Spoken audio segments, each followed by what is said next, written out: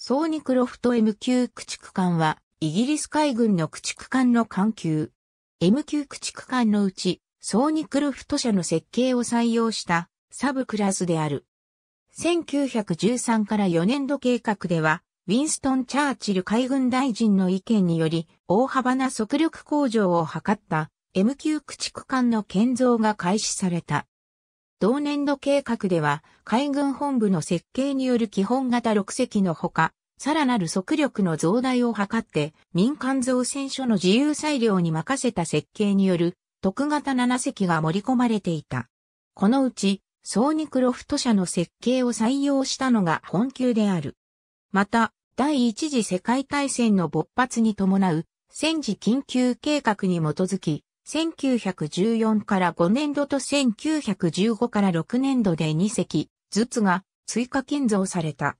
基本設計はアドミラルティ型と同様 L 級の小改正型とされており、船型も同じ船首楼型である。また本級ではアドミラルティ型と同様の3本煙突管とされているが、第2煙突が扁平で乾舷が高いという差異がある。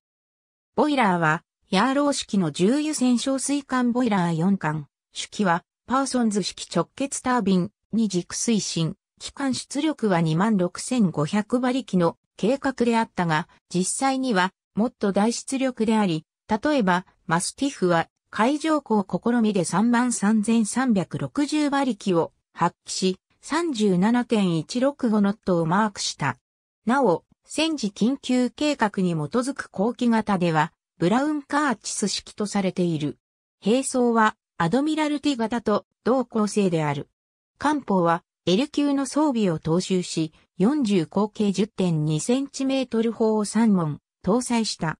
対空兵器としては29口径 37mm 機銃が搭載され、39口径 40mm 機銃に後日換装された。戦時緊急計画に基づく後期型では、当初からこの装備となっている。水雷兵装も L 級の装備を踏襲しており、21インチ連装魚雷発射管2機を搭載した。ありがとうございます。